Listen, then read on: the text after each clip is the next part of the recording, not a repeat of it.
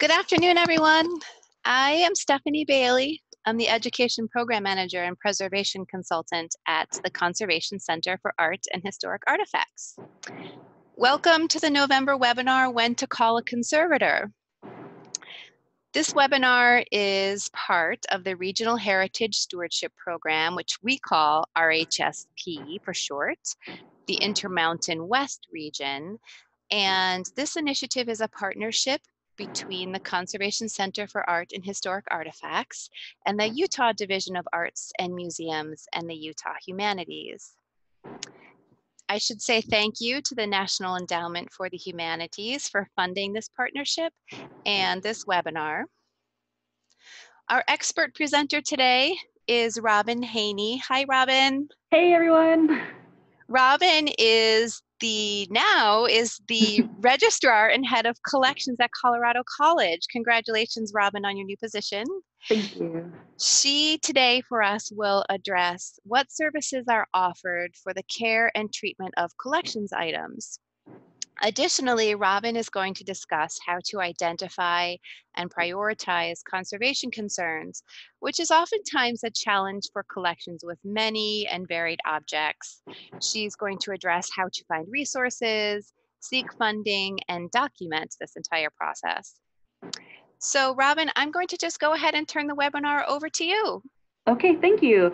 Um, thanks, Stephanie. I'm really excited to talk to everyone and talk a little bit more about uh, when to call conservator and kind of some approaches you can and should be taking with your collection, but um, when you can kind of reach out for, for expert help and um, some guidelines on how to prioritize and think about these issues. Um, so, like Stephanie said, my name is Robyn. I am actually an objects conservator um, by training, although my last, I guess, eight years have kind of um, centered around collections care more broadly and more administrative um, tasks with collections um, so thinking about collections as a whole and how to prioritize care uh, has been a main focus in a lot of what I've been doing. Um, so I'm going to start off uh, with some terminology and kind of some uh, overview of principles, which I'm sure will be familiar to a lot of you, but it never hurts to kind of talk through uh, again. Um, obviously, starting out with what conservation is, and uh, you know, the American Institute for Conservation, which is the professional um, organization professional governing body in the United States. So they have a definition here um, of what conservation is and what conservation means, and they really uh, qualify it as all the actions taken towards long-term preservation of cultural heritage. Um, so balancing preservation and access is a big part of conservation, um, but it includes not only physical hands-on work on an object like you see in this image here, um, but also uh, how you care for your object. So preventive tasks um, examination, documentation, treatment, uh, you can see, broadly speaking, people tend to split um, conservation uh, into two categories. So they'll talk about preventive conservation or um, versus conservation or remedial conservation. Uh, so preventive conservation really focuses on an object's environment and storage conditions um, and display conditions uh, as a way of preventing and addressing deterioration. Um, you'll see here in the image there are collections objects that are wrapped in a, um, a film that's designed to protect against corrosion, uh, stored in a storage housing. And then on the right, you'll see an example of remedial conservation where actually a conservator is working under a microscope to, um, to treat an object hands-on. Uh, so an action taken directly to an object. Broadly speaking, though, I like to think of conservation as a way to mitigate change over time because, uh, as we all know, our collections are constantly changing. Unfortunately, um, nothing exists in a vacuum, and even when something's brought into a museum or a collections environment, that doesn't mean that uh, change stops. Um, and so, really, what we try to do is control change over time and um, figure out how to make our objects last as long as possible for the benefit of as many people as possible. Okay, again, so probably most of you are familiar um, with these things, agents of deterioration, classic uh, collections care principles. Um, and these are what cause change to our objects over time. Um, so we're gonna kind of talk about a few of these today uh, in terms of uh, what you can do and should be doing to maintain your collection and, um, and then what you know you should leave to a professional conservator. So we're gonna really focus on pests. Uh, we're not going to talk about integrated pest management, but we're going to talk about pests in the context of um, noticing damage and, and reaching out for help. we're going to talk about pollutants, um, specifically dust. I'm going to spend kind of a lot of time um, talking about thinking about cleaning uh, and dusting your collections objects as a way of regular maintenance and something you should be doing. Uh, and then we're going to talk about custodial neglect and dissociation. So um, again, with with cleaning and caring for your collection in that way, um, not, not preventing uh, deterioration before remedial conservation is necessary is one of the best ways you can actually, um, one of the best tools you can use to mitigate the need for a conservator and to um, really have a cost effective way of caring for your collection. Um, and I'm including in custodial neglect, not undertaking regular housekeeping in your collection spaces and, and amongst your collections objects. Um, again, so these agents of deterioration are uh, kind of an industry-wide thing, but if you want more information, the Canadian Conservation Institute has a really great webpage, and I put the link there for you, um, but you can Google it and it'll pop up. Um, okay, so how do you know when your objects are changing? And how do you know uh, when there are changes that might need to be addressed by a conservator? Um, so one of the key tools for that are obviously condition reports. Um, these have a variety of purposes, right? So you'll do condition reports if you have objects coming in or out of, uh, of your organization on loan. Hopefully uh, you'll do condition reports every time you accession an object. Um, in the real world, in most museums, it's not actually, um, typically there's not a lot of uh, historic, well, I shouldn't say that. In some institutions, you might have a lot of historic condition reports, but not everywhere has that. Um, and so I like to be opportunistic, and every time uh, I pull an object for another reason, if it doesn't have a baseline condition report, I take the opportunity to um, do at least a brief condition report. Uh, there's a recent publication by the Southeast Registrars Association, um, Basic Condition Reporting Handbook, and this is a really useful uh, guide in helping set up condition reports that has sample um, sample reports for a variety of different materials. It breaks down different material types and uh, ways to describe how they're changing. Um, it gives you a lot of good glossaries for terminology. Um, it's really nice when you're condition reporting to try to develop a standardized terminology that you're using to describe your objects. Uh, it helps to have consistent condition reporting so you can rely on that information and it helps with prioritization later down the line um, when you're trying to work through your collection and establish your treatment priorities.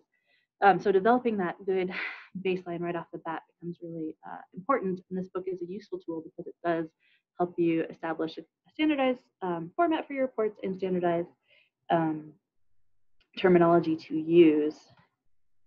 Uh, another really great resource for describing condition because uh, it's easy to get bogged down in terminology, but it, again, it's really nice if you can be consistent. Um, the Australian Institute for the Conservation of Cultural Material has developed a visual glossary, which is a really nice tool because you can um, go through and find the term that you think is appropriate to the, the um, damage you're seeing. And then you can confirm that it is, you know, what you're actually meaning to call an object. So uh, more than just a, a written glossary that you have to read and kind of interpret, it has actual illustrations of a variety of different um, damage terminology. So I find that a very useful resource, um, and it's it's nice that it's available on the web. Um, so another thing that's really useful in knowing when your objects are changing is uh, observing them during regular housekeeping. So I'm gonna I'm gonna emphasize housekeeping um, quite a bit here, and what I mean by that is the routine cleaning of both your uh, collection spaces um, your storage areas and your display areas. So uh, an example of this is on um, this ceramic, this ancient Greek ceramic that was on view at the Utah Museum of Fine Arts um, for several years. We had a, a work study student actually undertaking gallery maintenance for us. So she was cleaning vitrines in the galleries and she noticed some crystalline growth on the inside of the um, mouth of the ceramic. So you can kind of see that white powdery stuff on the inside of the rim there. Um, it's subtle and it's inside the ceramic where most of us don't look uh, on any given day.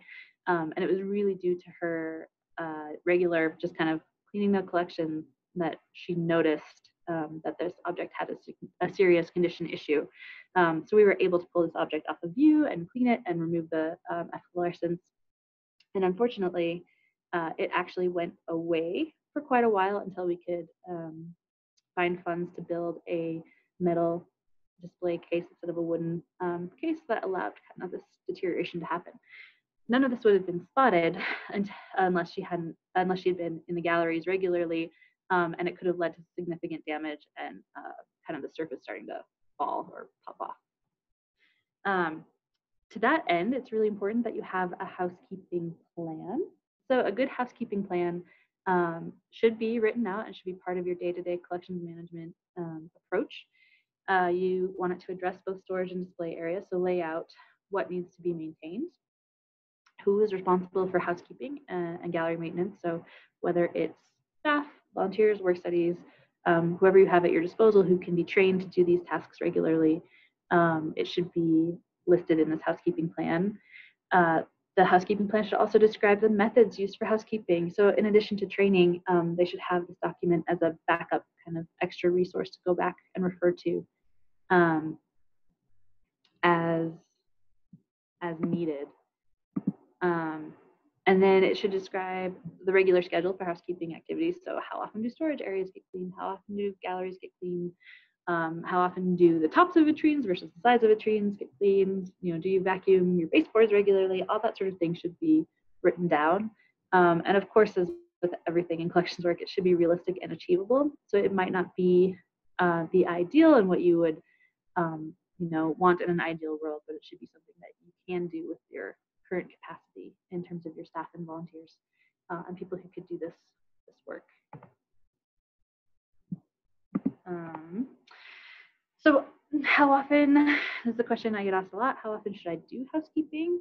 And this is really context driven. So it depends on your uh, HVAC system. It depends on if you have good filters that are keeping pollutants out of your spaces. It depends on if you have covered storage areas, if your objects are in vitrines, or if your objects are out uh, on open display.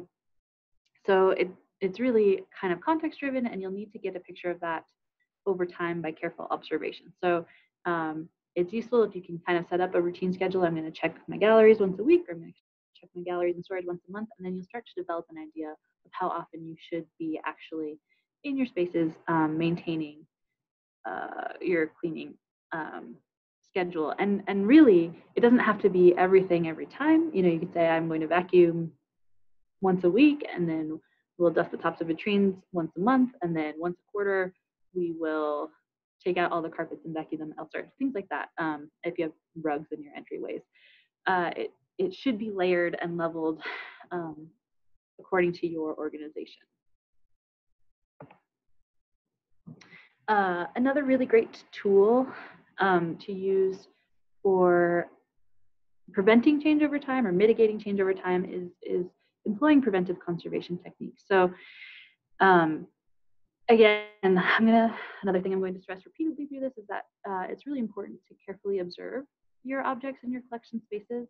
So you wanna watch, um, watch what's going on because that helps you understand what agents of deterioration are actually critical for your objects. You know, you might be in a historic house with windows um, and light's very uh, important or um, a, a, very big threat to your collection, or you might be in a space that doesn't have, you know, HEPA filters on your HVAC and you'll notice a lot of uh, dust and pollutant buildup.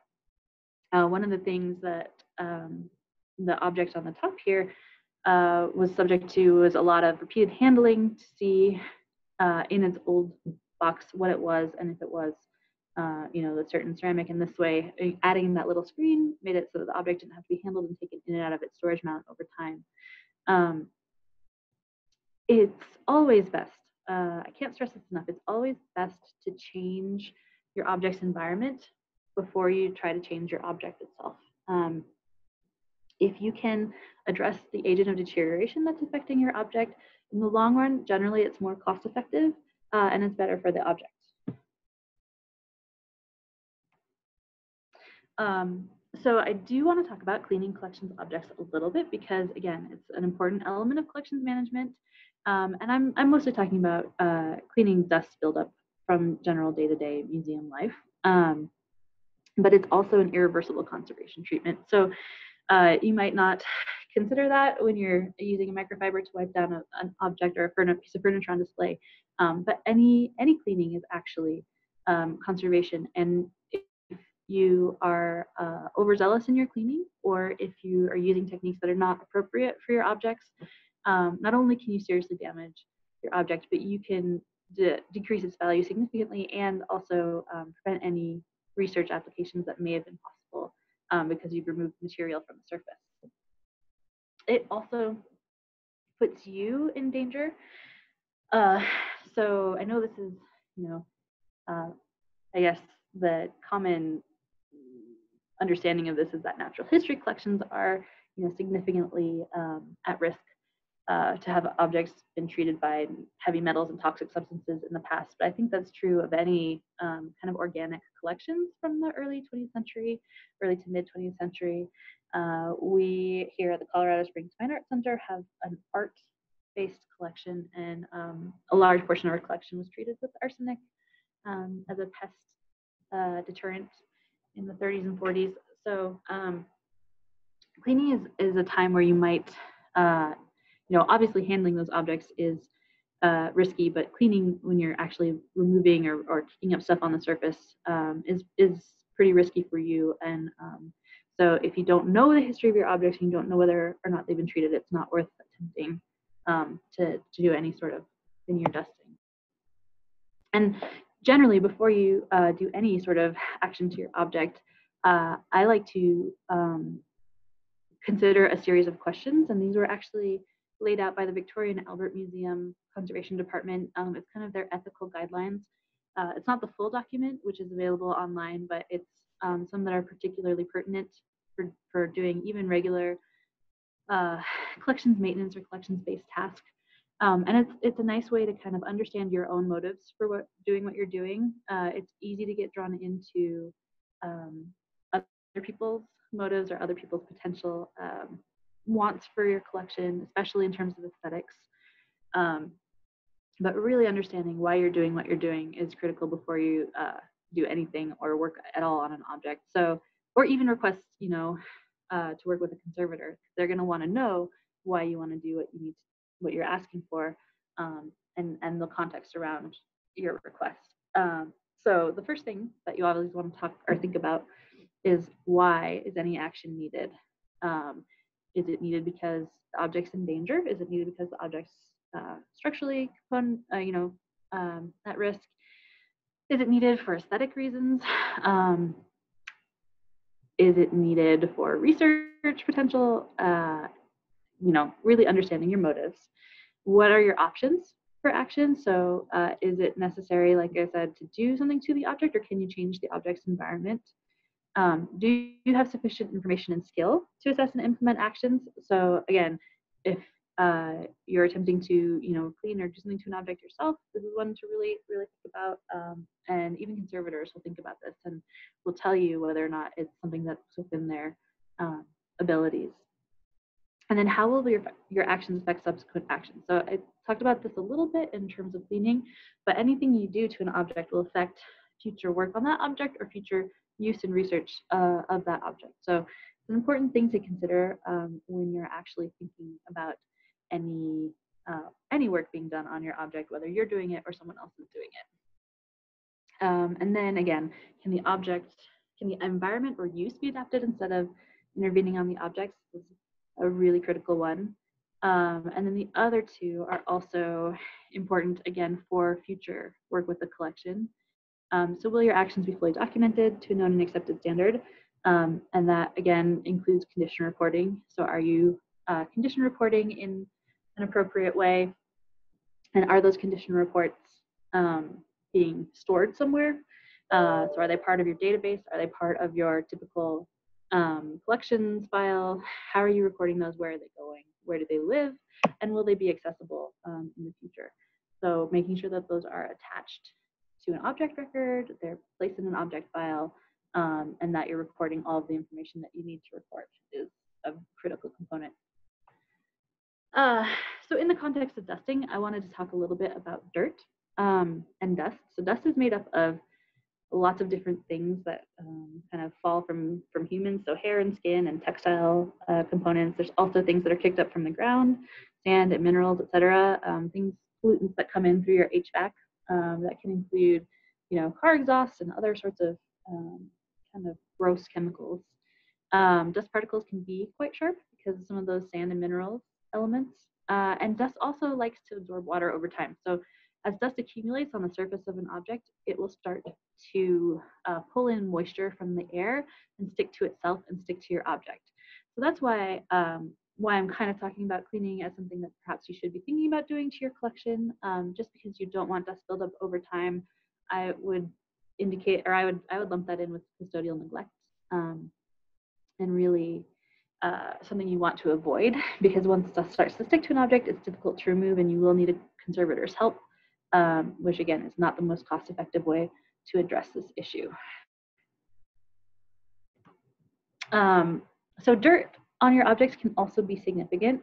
Uh, so this is two images. One, the one on the left is dust buildup on frames. Uh, frames 2D works in the collection storage area of the Utah Museum of Fine Arts, which is where I worked until just recently. Um, so a lot of these slides are pulled from there. Uh, versus, um, you know, some, some something that looks quite dirty. So the object on the right, the bowl on the right, looks like it has a lot of uh, dirt buildup, but that's actually um, crude residue inside an ancient bowl um, which could be analyzed and, and studied by archaeologists. So, um, so the dirt and, and soiling on an object surface can be quite significant, uh, both to their context. So you also have an object that um, is dirty from a particular event that's also significant. So, so understanding what you're looking at and recording that, and then again, questioning your motives as to why you want to address what you're trying to address. Um, we can learn other things from dirt too. So uh, by keeping an eye on our collections and, and seeing where dust is building up, we can both see what our vulnerable objects are to, um, you know, to, to, dust buildup, to interaction with humans. Um, we can also learn how effective our gallery maintenance plan is and our HVAC filters. Um, and then we can adjust our, our schedules there. So either doing increased cleanings or increased filter changes, things like that. Um, we can learn about whether or not we have pest issues. Um, and pests are, are really interesting because you can learn um, a lot from the frass they leave behind, which is actually the insect poop. You can see an image on the right here. Um, this is uh, from David Pinniger's uh, book on pest management, which is great. And it really um, shows magnified views of insect frass.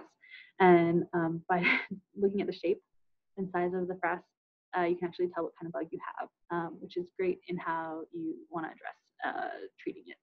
Um, and then again, dirt can sometimes give you insight into the object's history and use. Uh, so it can actually be a really uh, interesting tool to learn more about your collection and also to learn more about your uh, collections management protocols and how well those are working.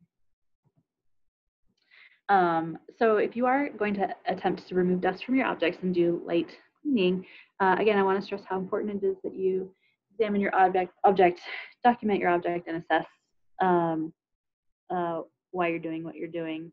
Um, so again, undertaking condition reports, uh, writing those down, and then keeping track of those in your greater collections database or collections management system, or even your just your object files uh, is really important.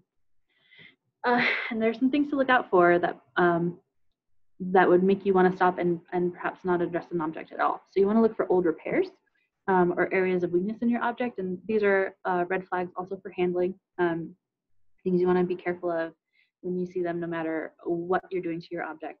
Um, so old repairs can be very obvious or very subtle. Uh, it really kind of depends. You want to look for fragile surfaces. So, so you'll see this image on the left. We have a frame um, that has an actively flaking surface decoration. Um, that's obviously something you wouldn't want to uh, you wouldn't want to handle, honestly, um, and you definitely wouldn't want to attempt to clean it. On the right, we have a ceramic, an ancestral Pueblo um, bowl that has uh, red pigment, red ochre pigment that's um, that's fugitive and not much is remaining. And so it's hard to distinguish um, that that is even there, but that is something that you would definitely not want to remove from the surface um, because it's an indication of how it was made and how it once appeared. Um, so you want to, again, carefully observe before you would attempt to do anything. And it's nice to have these these things documented in your object record for the future, um, and then you know you can uh, know that you need work on on on your objects. Um, you also want to look for things that are evidence of use. So in this, this object, you'll see a corn offering uh, that might be mistaken for kind of just general buildup of stuff, um, but actually was uh, an offering when this object was used, an important part of the object itself. Um, excuse me. Uh, and then another big one is looking for signs of pest activity.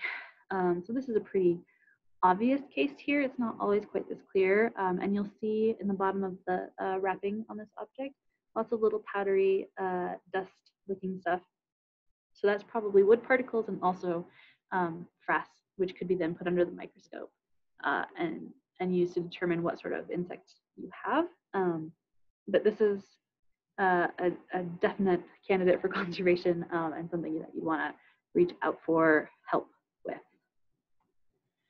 Uh, before you would want to clean an object, you'd obviously want a nice space. Even for examining your objects, you always want to have um, good light and magnification available. I always like to work on a, a white surface, white surface. Um, that helps me know when I uh, have, you know, made that surface dirty and it's no longer good for keeping objects on. Um, depending on the object, I'll use, you know, clean Tyvek over some foam padding, or I'll just use plain blotter paper if it's something that's not super stable that I don't want on a, a wobbly surface. Um, you'll see a couple of really great tools on the right, you know, obviously magnification, um, and the top thing is called an optivisor, and that you can wear on your head and keep your hands free while you're looking at an object. So this is a great setup um, for condition reporting and for examining objects. Uh, you can set up a similar situation on a cart, um, so you can so you can work in collection spaces and storage or um, in your galleries. Uh, it works really well. You also want to prepare yourself. Again, this is kind of um, basic to handling objects, but you want to wear personal protective equipment. Um, so gloves are, are critical, and uh, I always use nitrile gloves. I have very strong opinions on gloves. I know there's a lot of different theories, um, but cotton gloves tend to lose their shape and pick up and accumulate dirt. So uh, nitriles are nitrile gloves are nice because um, you can dispose of them when they get dirty. They mold really well to your hands. You have good tactile sense when you're working with objects, um, and generally um, they don't get used to the point where you're transferring dirt from one object to another.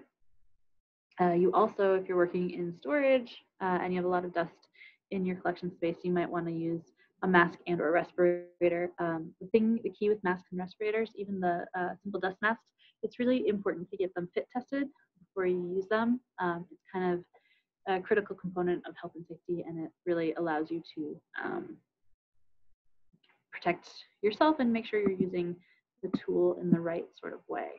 Uh, I'm going to pause here for a minute and just check in on the chat. I'm not seeing seeing anything, and I don't know if that's right, but I'll check in again on the uh, at the end of the webinar and see if there are any questions. Um, okay, moving along. So helpful tools uh, when you're doing regular collections maintenance. So a good vacuum, and what I mean by a good vacuum is not a super powerful vacuum, uh, actually a vacuum that uses a HEPA filter. So HEPA is uh, going to filter out the smallest particles um, it's possible to, to, filter out, and, and a vacuum that has um, variable suction. So there are vacuums that are top of the line that are a few thousand dollars um, that have really nice stylable uh, suction. Um, this Miele vacuum runs around $600 and it has a HEPA filter and it also has, I think, six uh, variable suction settings. So you can set it on a lower um, section, which is what I always like to use when I'm working with collections objects. And down below it, you'll see some micro tools. So you can get very small tools, um, which are useful when you're, uh, say, dusting a frame, uh, something like that. You'll also see in that image um, some mesh. And uh, again, so when you're, if you're um, dusting a, a, an object using a brush uh, and, and brushing it towards vacuum, um, you'll want to have your vacuum nozzle covered with mesh just in case something does get dislodged uh, so you can collect it. Um, up on the right hand side, there are a lot of uh, different brushes. Uh, natural hair brushes are great. You can see one of them looks like it's been used a little too much uh, and it's still kind of dirty from cleaning. Um, and the bottom image is that same pot, that same ceramic that we saw earlier, um, and having the salts removed from the surface uh, once it came off of you. We were actually fortunate enough to be able to do some uh, scientific analysis of our our crystals, uh, which kind of indicated that the materials used in the casework were the problem um, and were causing these salts to form on the surface. Um, and so we were able, once we figured that out, to remove the crystals and keep the object in uh, a better display or a better storage case until we bought a better display case.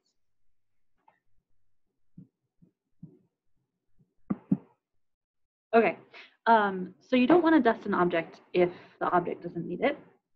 So there are lots of reasons an object may look dirty, and a lot of them have nothing to do with dust on the surface. So if you have a really good HVAC system, if you have um, pretty good protocols in place for cleaning, um, you're less likely to need to actually do anything to your object surface. So uh, you probably don't need to dust uh, unless you know that you have spaces that tend to build up dust and that don't get um, cleaned or seen to as frequently. Um, if you've noticed any of the different uh, kind of red flag issues that we just went through, um, the object is unstable, unstable or fragile in any way, um, that's another another point in time to stop and not work on your object. Um, if you don't know the source of what you're trying to remove, again, so if it's not just dust buildup um, uh, and you don't know what the soil, what the soiling came from, I would not proceed further um, in removing anything on that surface. If an object is moldy, um, that is actually a health and safety issue and you want to um, treat it appropriately. And so you wouldn't want to dust or dislodge anything from that surface, not only for your own health and safety, but to prevent um, kind of mold spores traveling in, throughout the air. Um, if you don't know the materials and manufacturing methods of your object, uh, I wouldn't attempt to do anything to it. I wouldn't attempt to dust it. Uh, and if you're not comfortable with the techniques you're using, um, so if you've never uh, dusted an object before or uh, been trained in how to do it. Some, so along those lines, if you are going to undertake testing, um, you want to test your methods and practice on non-collections objects first. So you never want to do something to an object without being very comfortable with what you're doing. Um, and cleaning does count as a conservation treatment. So uh, testing is a critical part of that process. Um, and then once you do decide to approach an object, you want to test a small area before you undertake full cleaning. Um, so a lot of people, uh, I've, I've gotten a lot of questions about just cleaning with, with water uh, and why not, why not just use a little bit of water on a rag um, to clean up an object. Um, so this is actually wet or solvent cleaning um, and solvents are uh, a very strong, um, can be very strong cleaning solutions, including water. So um, you should absolutely never use solvents to clean your objects unless you're working with a conservator. Um, generally, the rule of thumb is like dissolves like. So if you don't understand the chemistry of your object and your surface of your object, you could be in serious trouble. Um, I've uh, thrown in this slide um, and I actually never encountered this in chemistry class. I didn't encounter this until I was in uh, conservation school, but this is called a Teas diagram, and this is just one way um, people have tried to illustrate um, solubility and, and how solvents interact with various forces that keep um, bind things together. And in fact, this is this is uh, not even um, a generally accepted illustration. It's so complicated that, that people can't even agree on how to illustrate um, the different ways that that solvents interact with themselves and with um, surfaces. So uh, I, I put this slide in just to kind of illustrate the complexity of, of wet treatments. Um, and again, to urge you to never to try to undertake those um, unless you're working with uh, a conservator or in, in, consultation with a conservator. Um, and at the bottom of the slide, uh, there's a great article called Solvents and Sensibility if you do want to get more into the scientific background of solvents and solvent cleaning um, by Chris Stavroudis and Sharon Blank, and that's available uh, through the AIC website. Um, so solvent cleaning is okay if undertaken by a conservator, but there are products that you should just never, ever, ever use on your collections. Um, so these include silver polishes, Windex, uh, or any kind of commercial glass cleaner. Um, detergents and leather dressings So a lot of, uh, again, kind of common knowledge or uh, things you'll hear frequently is that leather objects need to be waxed and maintained um, or dressed with certain saddle soaps or various other products, uh, neat's foot oil, etc. Um, this may be true when objects were out in the world being used regularly, but once something comes into a museum, you don't want to treat your objects with these objects or these materials.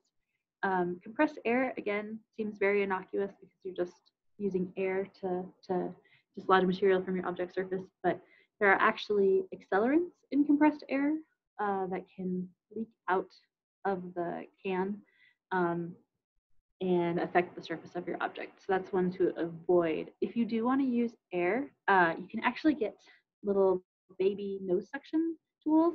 Um, so you can get them of a pharmacy. They're relatively cheap, and those will give you a small amount of air that you can control, and it's purely mechanical. There's no compressed, um, there's no accelerants or um, solvents that could leak out onto your object. So those are nice tools to have just a little bit of air to help um, clean an object surface. Uh, and then another one you see a lot online uh, is, is using bread to clean objects. So um, this is commonly uh, listed as a treatment for painting, as a way to clean painting. Um, but again, the, the big problem with all of these things is uh, the residue that is being left behind when you use these materials because they may look clean at the end of a treatment, but you're actually, um, you can be leaving behind chemicals and colorants and plasticizers and things that you don't want to remain on your object that also might change over time in ways that you don't anticipate and don't like. Um, so never ever use these in your collection. Um, be wary. And then again, when you're cleaning, uh, how do you know when, when you should stop uh, cleaning? So through careful observation, so watching what you're doing, um, watching your surface, seeing if, if you're removing loose dust that you're trying to remove, uh, it's nice to take breaks and come back to something if it's a large object um, and just see how it's going and give your eyes a break. Um, if you don't see any more dust coming off of the surface, that's a good indicator that it's time to stop. Uh, definitely stop if you notice any unexpected changes, uh, because that is a sign that uh, you actually have an unstable surface and you don't want to uh, do anything to that object. Um, and then using your common sense and your instincts. So letting um, your good sense be the guide uh, when you're working with materials. And what about other types of treatment? So uh, remedial conservation is super complex. There's no recipe book for treatments. Everything is context-based and should be done um, by professional conservators. Um, they can provide a good idea of the scope of the work that's needed and what might be undertaken in-house if there are things you can do with your team once you've been trained by a conservator. Um, they'll be able to guide you through that process. Uh, and they'll want to have detailed information about the objects that you want treated or the work that you want undertaken. So that would include condition reports if you have them, um, high resolution photographs, and kind of a description of both the problem and what your, your goals are. So uh, are you wanting to do treatment for something to go on view? Are you wanting to do treatment for um, because you're worried something's falling apart? Are you wanting to do treatment because something's going on loan and needs to be able to withstand travel? Um, so giving them the full idea of that context is really helpful when you're um, considering uh, reaching out to a conservator for, for treatment advice. Um, another thing that you always need to do when you're dusting collections objects is clean your cleaning supplies. So you'll want to use a, a mild detergent and, and rinse it thoroughly um, and just make it a habit every time you, you do collections maintenance. Um, even if you're not working on collections objects, anytime you're cleaning in your galleries, you want to make sure you're cleaning with clean tools. Um, it's also really, really critical to make sure that the condition information you're collecting um, before you clean an object is attached to your object file in the database or in the object records. Uh, always take photographs uh, of your objects and, and what you're doing.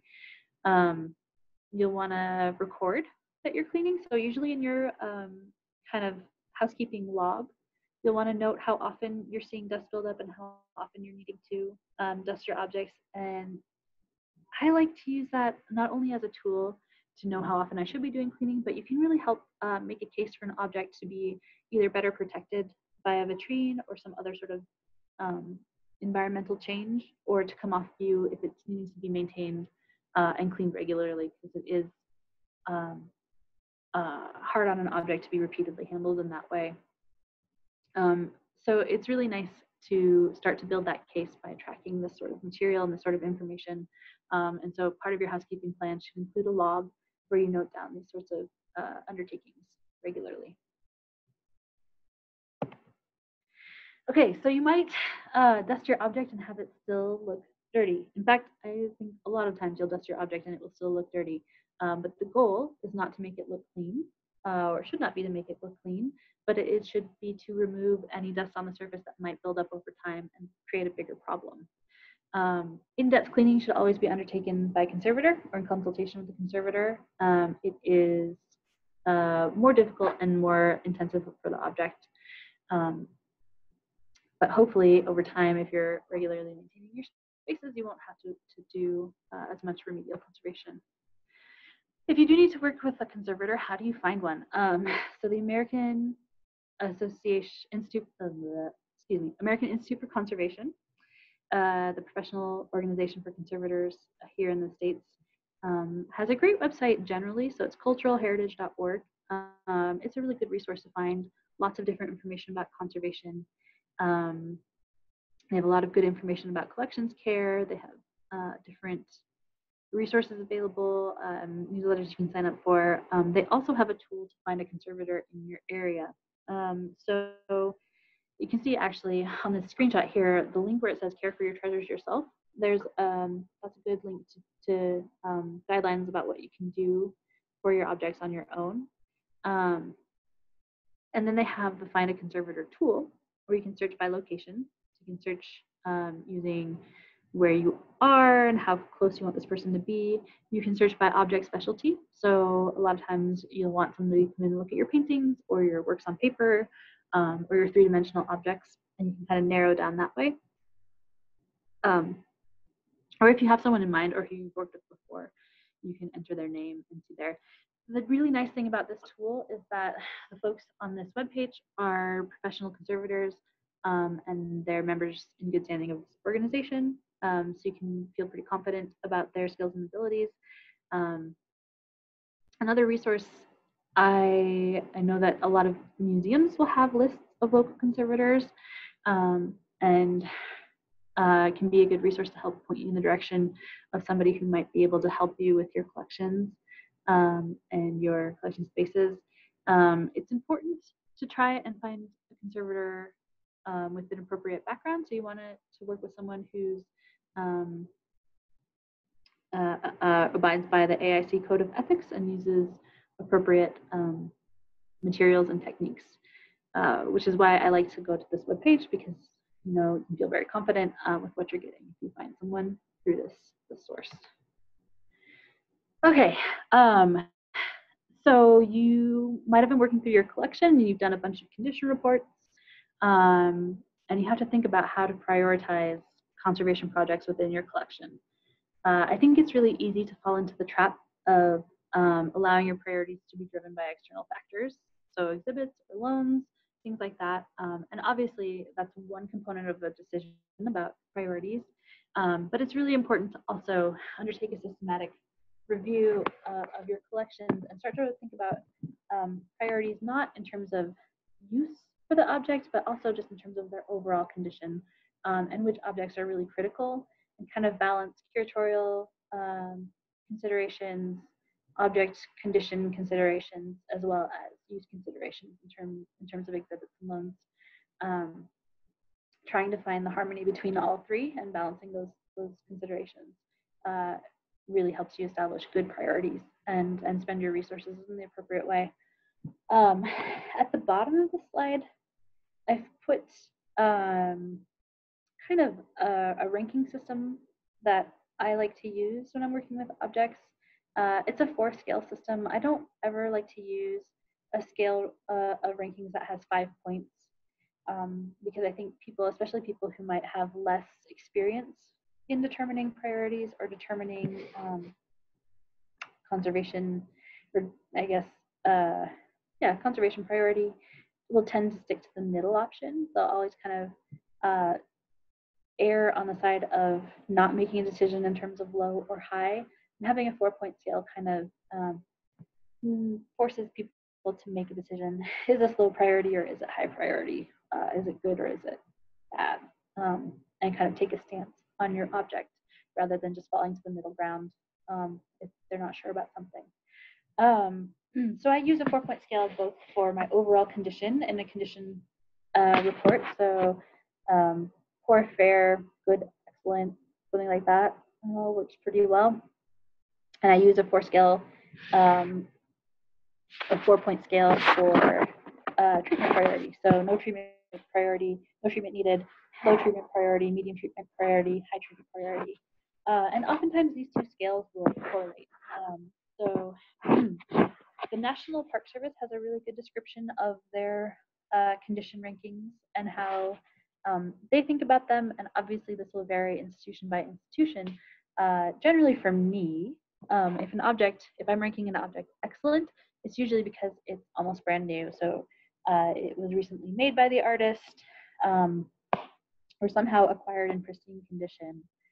Uh, good uh, as a treatment or good as a as a condition um, overall ranking uh, for me tends to be something that might show signs of use or signs of age, um, might have some minor aesthetic issues, but doesn't really generally have any structural issues affecting its condition. So nothing um, that are, are structurally risky when you're handling the object. Um, fair objects may have some structural issues, uh, but nothing um, super critical or imminent kind of deterioration or might have ongoing structural uh, concerns, but nothing um, kind of dire. And then poor is something that's really critical, uh, has significant structural issues or uh, increasing ongoing deterioration. So similarly, not always, but these four points tend to correlate um, with those those four rankings. So um, in terms of condition only, if something is in poor shape, it's probably a high treatment priority. Um, just in terms of condition, however, that object might be uh, a low priority curatorially. And so when you're creating the picture for your organization of, of conservation and creating a conservation plan, you'll need to kind of uh, balance those two considerations um, through conversations with your curators and through establishing rankings not only for condition but for curatorial importance. Um, and then and then use. So if this object is on view frequently, if it travels frequently, um, that also kind of factor into the mix a little bit. Um, so condition surveys are a great way to start creating your conservation plan um, for your whole collection. And these can be um, super simple or super complex. So you can do condition surveys that uh, look at your object or look at your collection on an object by object basis. Um, so these are, are obviously very time intensive. Especially if you have a large collection and are, are usually long-term projects. Um, you can have condition surveys that focus on a subset of your collection. So this example on the screen here uh, was a specific project for through a grant to look at um, just the metal objects from, from the collection of the Oriental Institute Museum. And so this was really a, a condition survey form that was tailored to metal objects um, and designed to be relatively quick because it was a, a, you know a shorter grant timeframe, um, but was still an object by object survey just in the metals, uh, metal objects in the collection. Um, you might have sample survey. So you might want to do a, a, faster survey that looks at a smaller subset of your collection. So you might want to look at um, one in 10 objects, of see if there are any red flags or any areas where you know you have issues. Um, and you might, you know, uh, encounter a significant problem, you have a section of your storage area that has mold growth that you didn't know about, or uh, your metal objects are deteriorating faster, or um, something like that. And sample surveys are nice because they are faster and they also can point to um, environmental conditions that you can address. Oh, I'm sorry. Um, so they, they can help you figure out uh, if you have environmental conditions um, that you can change and kind of uh, focus there rather than, than focus on your objects. Um, they might flag up areas where it's it's kind of gone further than that, and you'll want to bring in um, conservators for further treatment. But it's really nice uh, to do a condition survey. Uh, also, if you're going to apply for further grant funding for treatment. So um, it's a really great tool in a grant application to say we've undertaken a condition survey and we know um, that this is a priority in our collection and this is a priority for treatment um, because we have a good idea of the, the whole picture. Um, they're a really great tool to kind of to develop that that bigger picture. Uh, it's really great too if they go hand in hand with um, curatorial review. Um, because then you can can again develop the whole uh, picture for your collection and your organization, not just for your uh, collections as a collections person. Um, and there are a couple of, of surveys that can help kind of, again, with the bigger picture thing that are sponsored by different national organizations. So the Collections Assessment for Preservation uh, is a program run by the IMLS, uh, Institute for Museum and Library Services. Um, and what this does is it has a couple of assessors come in and they look at your collections um, over the course of a couple of days, and they make big recommendations for goals for your organization. So they um, they look at your environmental considerations, they look at your storage considerations, and they kind of can help you develop a long-term big picture plan. Uh, same things with the museum's assessment program, um, and that's less specific to collections and kind of a, a broader big picture. Um, but they're both really helpful in then being a launching point for, for other grants or other kind of long-term planning. Um, I've also included the CCAHA's website. Um, so surveys are something that you can hire conservators to come in and do and help you with um, consultation. Uh, and here from the CCAHA's website is kind of some of some of the, the sorts of things that they do and are similar to lots of different um, independent conservators uh, in terms of assessments and surveys that, that you can get help with. Um, and it's really nice sometimes to have someone come in and be able to do this for you, uh, to focus on it and to um, kind of undertake the planning and structural organization uh, for you. Um, and again, these are all uh, tools to help you create your conservation plan and to create your collections management plan and um, to guide your work over a course of several years. So they're not um, individual treatments per se, but they are long range planning tools and uh, really important when you are kind of creating your overarching goals. Um, uh, okay. Um, so there are also resources available not only for these sorts of assessment projects, but for individual conservation treatments and projects. Um, again, so IMLS, the Institute for Museum and Library Services, they run the CAP program, um, and then they run uh, several other programs that have um, funding available for, for conservation projects. Um, you will need, uh, for these projects, you'll need to have um, treatment proposals, treatment plans, and kind of um, evidence that you've worked with a conservator. So you'll you'll want to, um, if you're thinking about applying for one of these, you'll probably work in conjunction with a conservator to at least develop the uh, estimates and kind of range scope of treatment. Um, National Endowment for the Arts has has one uh, grant that's really great for conservation projects. Um, and and these grants will also fund surveys. So they'll fund treatments, but they'll also fund surveys, which is great um, because then you can kind of piggyback off of that survey work to then fund future treatments. Um, the National Endowment for the Humanities has some grants. The Kress Foundation has some great grants. So Kress Foundation, though, is focused on European art of the pre-modern era. So there are some collections um, limitations on that grant itself. Uh, but all of these resources um, are, are useful in terms of funding projects that might otherwise be prohibitively expensive. Uh, and again, the American Institute for Conservation, culturalheritage.org has some other resources listed, uh, and they're a good go-to to start thinking about these sorts of projects. Um, okay, I've listed a lot of resources on this page, um, but the top one is American Institute for Conservation, so culturalheritage.org, mentioned that several times. Uh, and they have uh, a group called Connecting to Collections Care, um, which hosts webinars and informational um, sessions online, and they also have a lot of great resources available um, for thinking about collections care and conservation. Uh, ARCS is another good one, uh, Association for Registrars and Collection Specialists. If you are kind of delving in uh, and attempting to work on objects, um, the Canadian Conservation Institute notes and the National Park Service Conserve O Grams are super helpful. Uh, they even have guidelines on things like picking tools uh, for environmental monitoring or uh, picking a kind of a good um, data loggers or vacuums, things like that. Uh, you might not expect to be available, but they are super useful and um, available through those two kind of bulletins.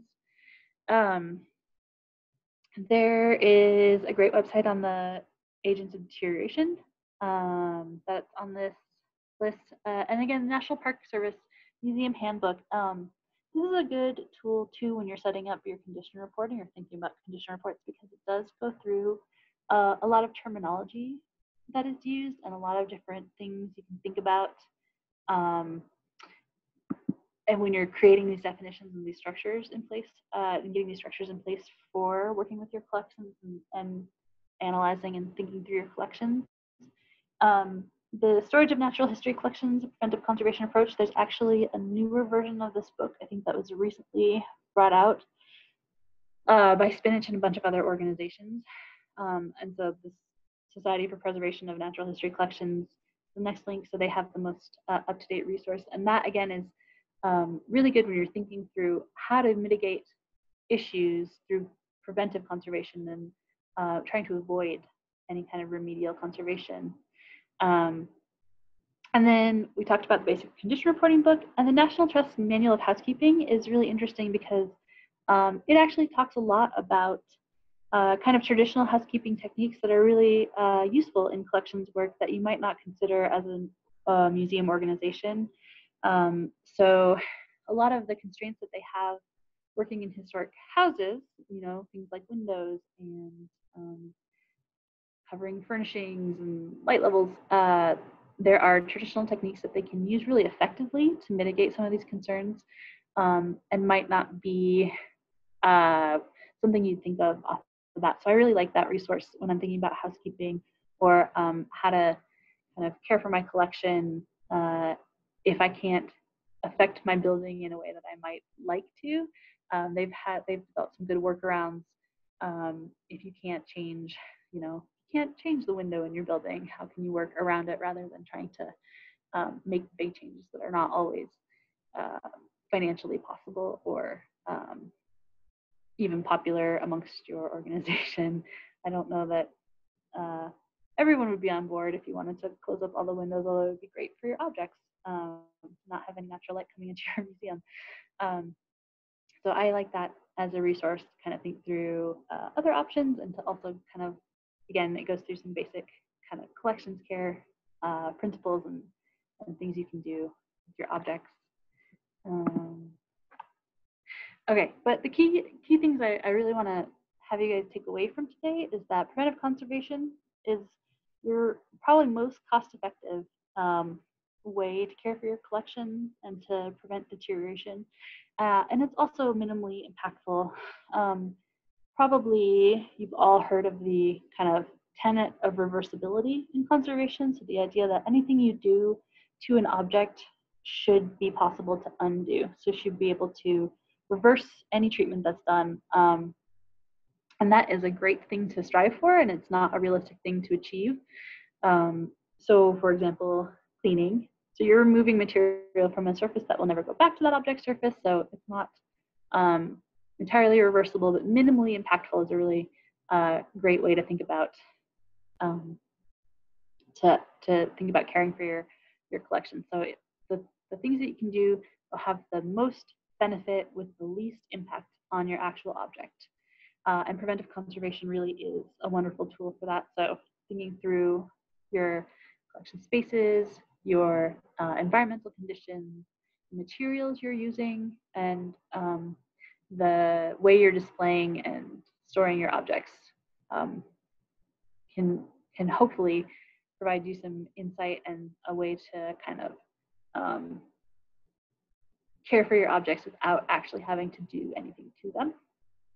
Uh, and then routine maintenance. So we talked about housekeeping a lot. Housekeeping is uh, an important part of um, collections management, and it should be something that is standard in in your institution and uh, documented and actually done. Um, again, removing the sources of uh, deterioration, removing um, the pollutants, the dust particles, before they have a chance to affect your object uh, is a great way to not have to bring in a conservator. Um, but if you do have to bring in a conservator, uh, or if you need to dust your objects yourself, um, you should only do it after you kind of carefully observe and consider your objects. So remember your uh, remember the questions to go through before you work with an object.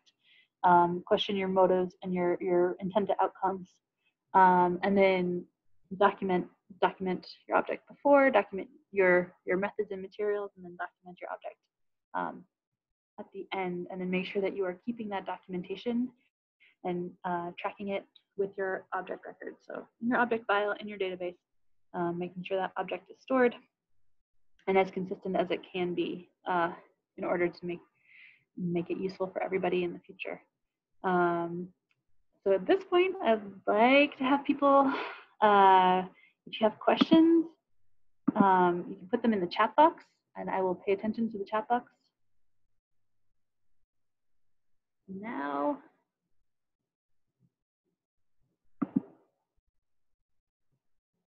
Are there any questions?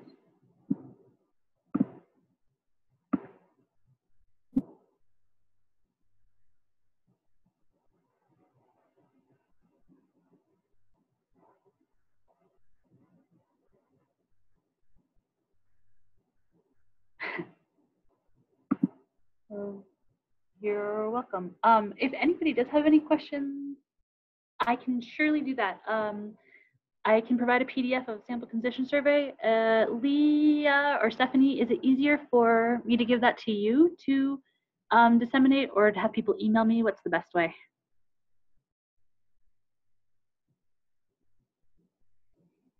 Anybody there? Um, Autumn, I will get back to you on that in terms of providing a sample condition survey.